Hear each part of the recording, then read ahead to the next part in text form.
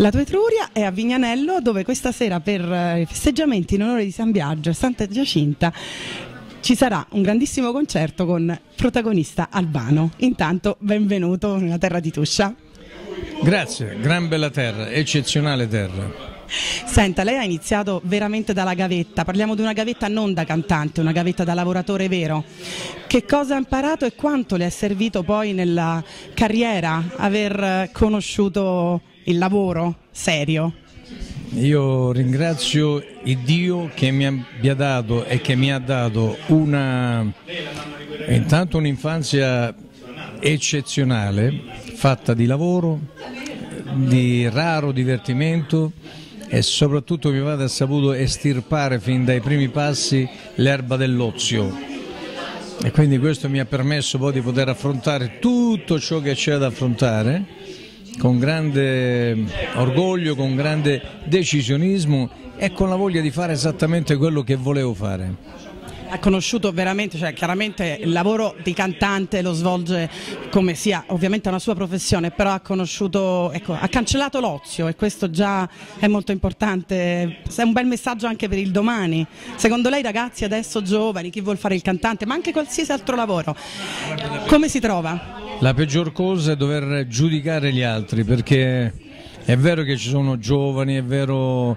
che ci saranno giovani, è vero che anche noi siamo stati giovani, ma soprattutto è vero che ogni giovane è figlio sì dei suoi genitori, ma soprattutto anche del tempo che stanno vivendo, del, di un tipo di educazione che arriva sia da un certo tipo di scuola che da un certo modus vivendi che ovviamente è sempre diverso da quello di quando noi eravamo giovani. Quindi non ci sono lezioni da impartire, solo vivere. C'è soltanto il bisogno di capire perché il mondo va in quella direzione, perché il mondo è cambiato rispetto a noi, ma il mondo è sempre cambiato, quindi non dovrebbe essere una novità per nessuno. Senta, la terra di Tuscia c'è già stato, ha avuto altri concerti, altri contatti, ha dei ricordi particolari, degli aneddoti su questa terra? Intanto una grande cultura che avvolge tutta questa terra, intanto cammini e sai di camminare su un letto di storia, storia incredibile, storia con radici profondissime, se stai attento ai muri, se stai attento alle ma anche il tipo di costruzione di queste, queste case, questi paesini, queste, cioè ti parlano di, di, pura poesia, ti parlano di sudore, ti parlano di storia e, e ti smarrisci se vuoi per certi... Mm, in, qual mo, in qualche modo ti smarrisci, però riprendi te stesso perché è giusto che sia così, con la voglia di ritornare. Io ricordo sia l'arte del passeggiare, di osservare, di vedere la chiesa, il Duomo, eh, di capire che cosa c'è e sia poi la cucina, la cucina è, in questa zona qua è veramente speciale, mi colpì moltissimi anni fa quando sono venuto per la prima volta e continua sempre a stupirmi. Devo dire che l'Italia è forte in cucina, siamo i migliori al mondo, non ci sono dubbi. Sulle altre cose insomma si può anche discutere. Beh, prendiamoci almeno quello che c'è di buono e grazie per la poesia che ha regalato alla nostra terra. Senta, un'ultima cosa, la cosa più bella di questo 2013, avvenuta o che magari deve ancora venire? Cosa, cosa? Qual è la cosa più bella che si aspetta da quest'anno? Secondo me la salute, poi ancora salute e terzo salute, salute, perché grazie a quello puoi fare tutto ciò che vuoi. E allora tanti auguri. A tutti. Ciao.